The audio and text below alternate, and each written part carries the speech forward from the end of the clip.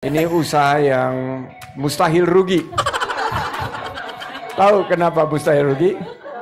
Karena sebuah inovasi dari pembukuan yang luar biasa oleh Mbak Nur.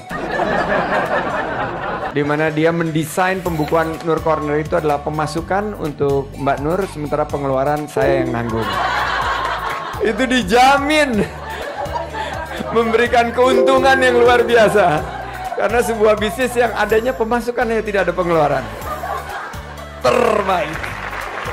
Adakah ruang-ruang kolaborasi bersama dengan para pelaku UMKM dan ekraf di tanah air sehingga mereka bisa mengikuti jejak kesuksesan Badian melalui berbagai usaha maupun program yang saat ini sedang berjalan? Kalau menurut saya besar sekali Bu kesempatan untuk kolaborasi itu karena memang kan sekarang eranya kolaborasi. Nah kalau dari Dian Pelangi sendiri Alhamdulillah untuk kolaborasinya kita memberdayakan para perempuan-perempuan yang ada di sekitar uh, ekosistem yang yang tempat produksi kita di Pekalongan Bu.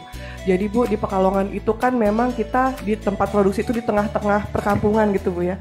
Nah kita nggak kepengen asik sendiri gitu, kita nggak kepengen seru sendiri, tapi kita kepengen juga memberikan manfaat kepada sekitar kita, para uh, perempuan-perempuan, istri-istri, bahkan nggak punya background fashion sama sekali, kita ajak, kita ajarin menjahit.